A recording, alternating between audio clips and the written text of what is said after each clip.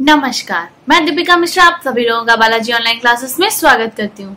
आज हम class six Hindi first Medha में पार्ट सिक्स फागुन में सावन, ये कविताएँ पढ़ेंगे। और ये कविता शिव मंगल सिंह सुमन जी ने लिखी है। हम सभी सावन की सुंदरता को जानते हैं। सावन के महीने में हमारा वातावरण मनमोहक हो जाता है। प्रस्तुत कविता में कवि ने उन भावनाओं को दर्शाया है जो फागुन जैसे महीने में अचानक से बारिश के आ जाने से उत्पन्न होती हैं। आज कहाँ से फिर आ पहुँचा फागुन में सावन? आज अचानक से फागुन के महीने में सावन कैसे आ पहुँचा है? सुबह उड़ी थी धूल, शाम को घिराए बादल। बासंती रातों में वर्षा किन आँखों का जल पतझड़ की नंगी डालों में पुलक उठा यौवन। आज कहाँ से फिर पहुँचा फागुन के फागुन में सावन?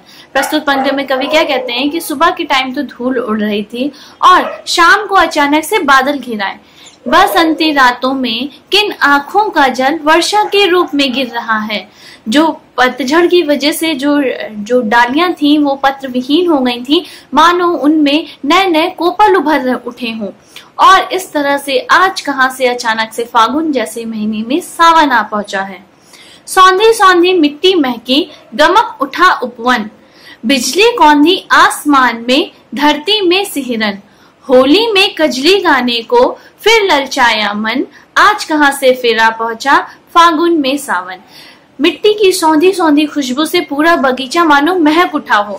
और जब आसमान में बिजली चमक रही है, कड़क रही है तो मानो ऐसा प्रतीत हो रहा है जैसे धरती में कपकपी उठ रही है। और जिस तरह से होली के अवसर पर होली के मौसम में जैसे कजली गा, गाने को जी लल जाता है बिल्कुल उसी तरीके से हो रहा है। इस तरह से आज कहाँ से फिर आ पहुँचा फागुन में सावन।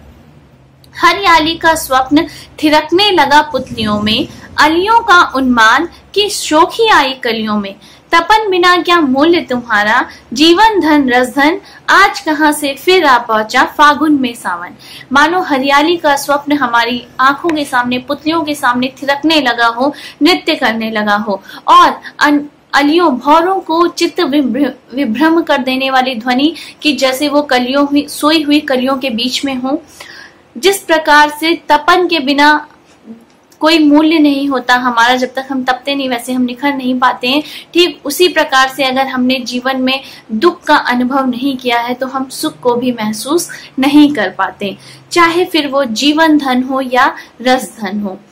इस तरह से आज कहाँ से आ पहुँचा फागुन में सावन। तो बच्चों, ये कविता है फागुन में सावन। आप इसको अच्छे से पढ़िएगा।